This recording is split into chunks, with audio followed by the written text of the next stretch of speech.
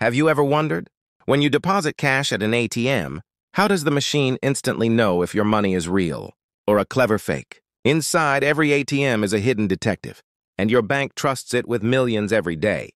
First, the light test.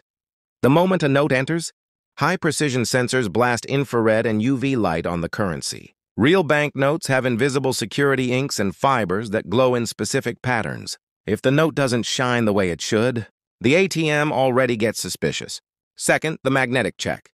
Most authentic notes contain tiny magnetic strips woven into the paper, so the ATM scans for magnetic signatures, like a fingerprint for money. No magnetic code? Rejected, and sometimes immediately reported. Third, the texture scan. Fake notes are usually printed on normal paper, but real currency uses unique cotton polymer blends with raised ink. So pressure sensors inside the ATM literally feel the note's texture. If it's too smooth or the edges are off, again, instant reject.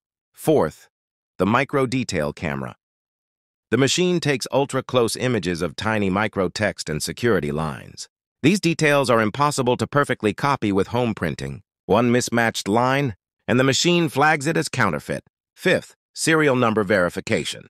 Modern ATMs send the note's serial number for a quick database match. If that number has been seen in another location at the same time, or belongs to a batch known for counterfeits, the machine alerts the bank. All of this happens in less than a second. No human could check money this fast. But here's the twist. If an ATM catches you with fake notes, even by accident, banks can track where it came from and you might have to explain it. So next time you deposit cash, remember, that machine is not just counting your money. It's investigating it. Want more secrets about everyday tech that feels like magic? Hit follow and stay curious.